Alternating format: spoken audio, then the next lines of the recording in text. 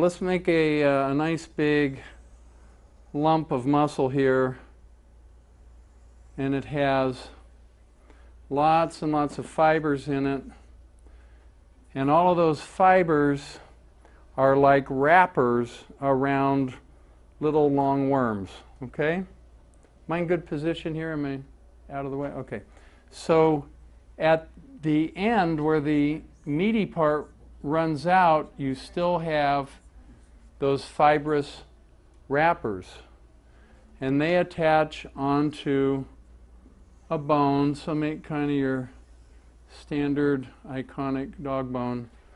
Okay, so at that attachment site, they send little fibers into the periosteum to make a good firm attachment. We were talking about that earlier. There's a transition between the tendon and the rest of the muscle. And at the transition point, there's a particular kind of proprioceptor. And it's called a Golgi tendon apparatus.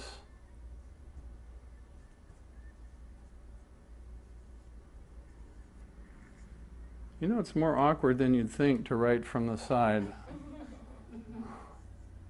I'll just say app. Everyone has apps nowadays.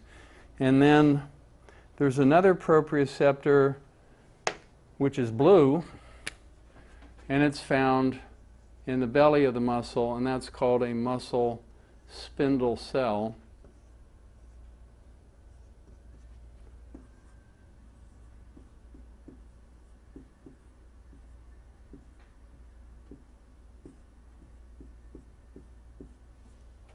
Okay, so when we put a needle in, a lot of times we're aiming for one of those.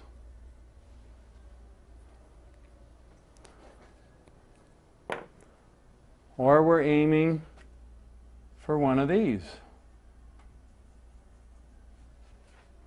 Because that's where the nerves are. And you can get a stronger effect by influencing the nerve.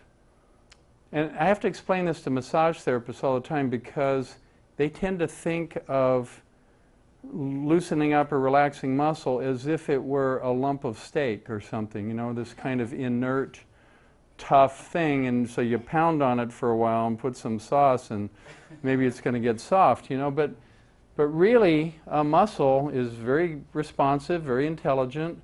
You want to persuade it. So if you shorten the muscle spindle cell, by the way, it's an elongated cell, both of them are elongated, or shorten towards the attachment site the Golgi tendon apparatus, you essentially turn off the cell. Think of a coupling on a um, railroad car, right? If you push it together, boom, it just frees up and then it can go long. The more you just try to stretch against it, the more it resists that. So you want to persuade a muscle to release by shortening towards the origin at the point where the kind of the meatiness comes down to a tendon or in the belly of the muscle bring both sides of the muscle towards each other to unhook or loosen up that. You can also do the opposite by yanking on them and stretching them and wake up a muscle that's been turned off traumatically.